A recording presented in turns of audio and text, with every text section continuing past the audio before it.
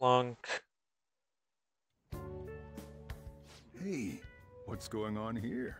You brought over another girl? You blew her up! Oh, damn you! God damn you all to hell!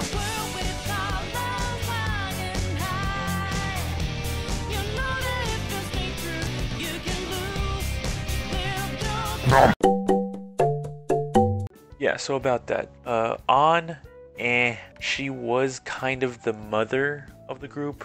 Now she kind of sucks to the extent that she was inconsiderate towards Morgana's feelings, so she's dead to me. You are underage. Actually, you know what? Yeah, yeah, feed me. Feed me. That's not what I meant. Anyway, don't break her heart, alright? You just fade away. Don't you know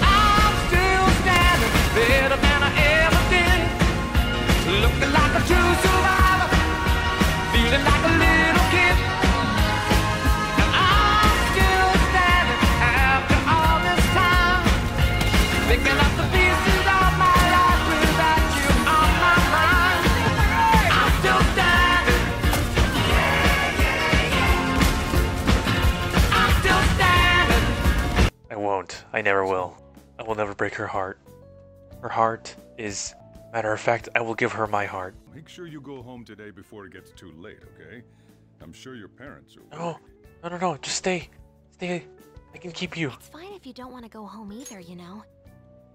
Sojiro, can I please keep her? Promise I'll pet her, feed her, No, I'll go home. clean up after her. You never let me have anything. Can we exchange contact info? Absolutely. Will you be okay on your own? If you need, I can go with you. Yeah, yeah, yeah, yeah, yeah. You belong here, don't you, Mona-chan? I can go with you instead. The matter's been settled. You'll be welcomed into his household. What a twist! What? Excuse me? You won't officially be registered yet, but isn't that how things are with young people these days? Go prove your sincerity to him. You can do that, can't you? So, I'm not even allowed to decide where I will live, am I? Not only do you come home late, you even stayed out overnight without permission. I thought I had been clear about the friends you choose. Father, they're not like... I have my hands full right now with the company.